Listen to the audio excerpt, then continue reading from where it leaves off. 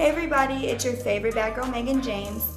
And guess what? Me and my bestie Erica from Bad Girls Club Season 9 will be hosting the Afro Model Awards in London, England. See you there.